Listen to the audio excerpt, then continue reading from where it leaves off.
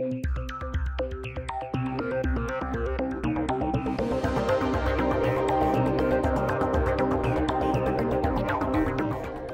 and welcome back to Online Video Student. Today we're going to take a look at how to get Siri to read you anything from your iPhone.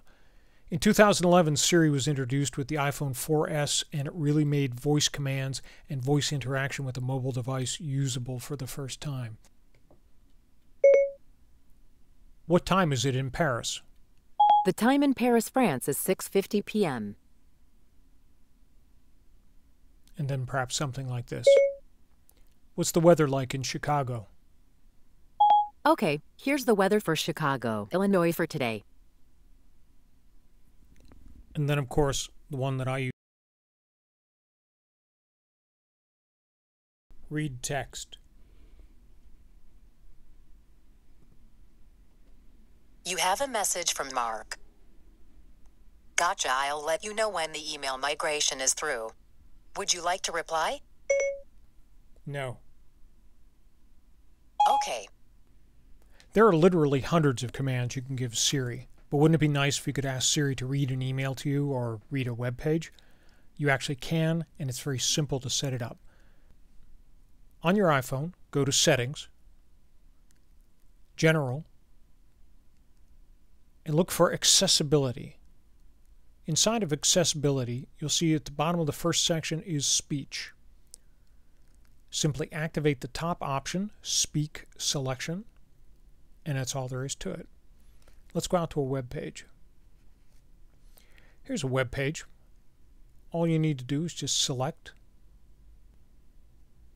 draw out what you would like Siri to read to you, and at the top, in addition to the copy option, you'll see a speak option. Coding is powerful. It should be in the hands of smart and critically thinking people like you. It's a super useful skill these days, whether you want to become a software engineer or are just living in the world today and want to understand. Depending upon your preference, that might be a little too fast or a little too slow reading for you. There's an option for that as well. If you go back to settings, you'll see that down towards the bottom there, there's a speaking rate option. One side's a turtle, the other side is a rabbit. You can adjust it and it will tell you how it's going to sound. Speak selection reads selected content. Let's give that paragraph another try.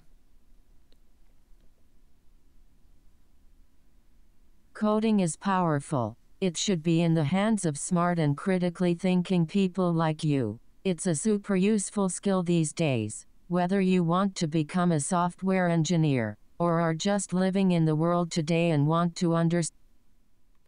You can go back and forth making adjustments until you get the voice just the way you want it.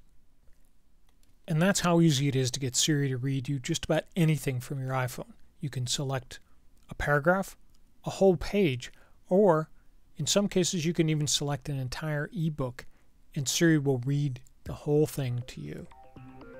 Thanks for watching. We'll see you next time on Online Video Student.